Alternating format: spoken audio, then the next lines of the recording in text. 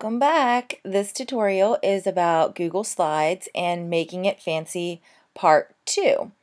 So I would have gone to slides.google.com, logged in with my WCPS username and password, and again it's going to give you a list of all of the presentations that you have created or that have been shared with you. I'm going to go back to our um, sample slideshow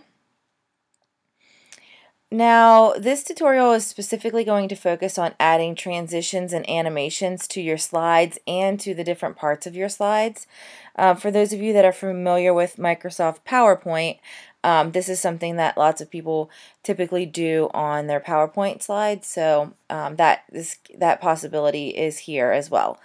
Um, so there's a couple ways that you can do this. First is if you just go to Slide, um, you can go down to Change Transition and an animations bar will come up on the right hand side. You can also right click on the slide itself and click change transition there. Now you have a list here of different transitions that you can use for the slide itself. So let's say I wanted to um, have it slide in from the right. Just click there. Of course you can change your the pace, um, how quickly it comes in and you can choose to apply it to all sides if you'd like. By clicking play, it's going to give you a preview of what this will look like. Okay, so as with all Google um, tools, uh, it automatically saves for you. So whenever I close, this slide is set to come in from the right. Now I can click on my second slide and do the same thing. Right click, change transition and I'm going to have this one slide in from the left. Again, I can um, play it to see what it's going to look like. Um, and the other thing that I can do is um, specific parts of the slide I can have come in differently.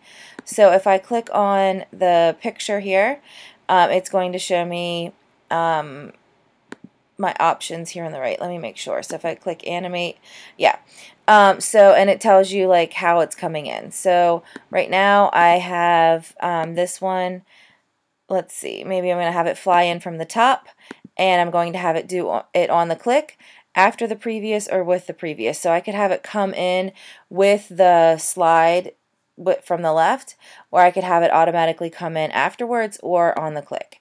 So now if I play it, it's going to show my slide coming in and then whenever I click my um, animations will come in. So this one actually over here is listed as a fade in on click as well. So um, let's change that to zoom in and just see what that would be like. So again, the preview slides in from the left.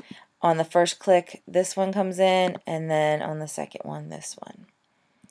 Now, if I wanted to um, have them go in a different order.